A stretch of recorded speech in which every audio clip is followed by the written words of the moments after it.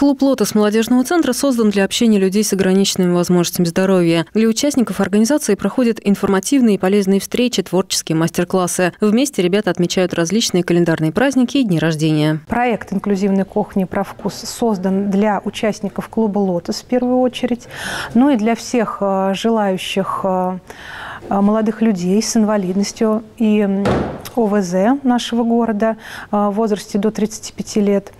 Это, этот проект предполагает собой проведение кулинарных мастер-классов, где молодые люди будут учиться готовить согласно правильному питанию. В Нижнем Новгороде прошел финал областного конкурса молодежных проектов и инициатив драйвера роста. От Сарова было заявлено 12 проектов, один из которых «Инклюзивная кухня про вкус» одержал победу. Конкурс проходил в несколько этапов. Первый этап это был заочный. Нужно было написать проект в соответствии с теми рекомендациями, которые были внесены в положение по конкурсу, отправить его на рассмотрение.